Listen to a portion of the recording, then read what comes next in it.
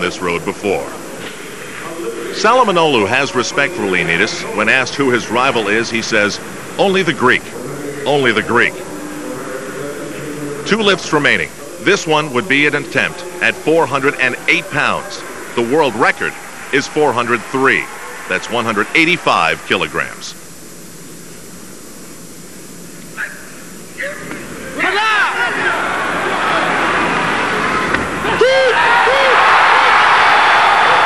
Bar bent, but he did not.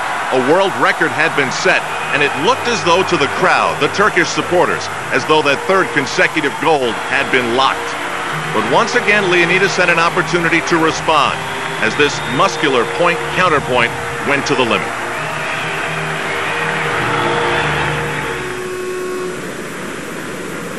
He attempted 413 pounds to up Pocket Hercules' world record.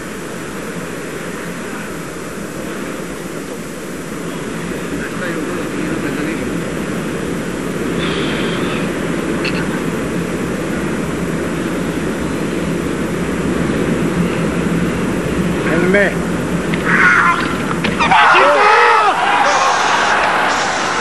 Μακριά το πόδι.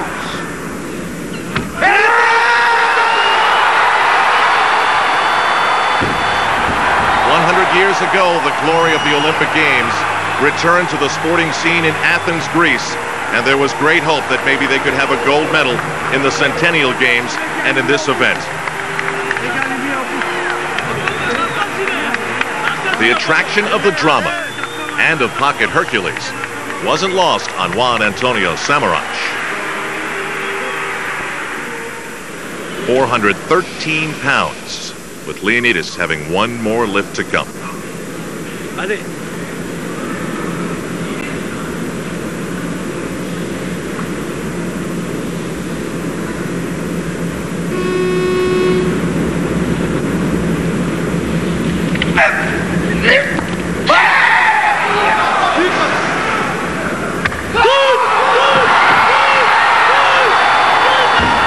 locked his rear leg and the Turkish fans roared.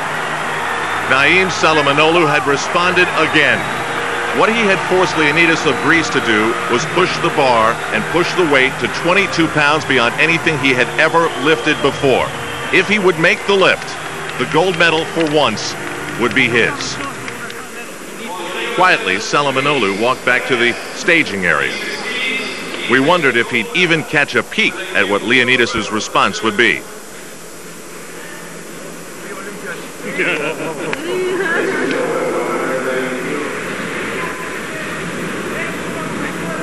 To reset the world record and for the gold medal at 419 pounds.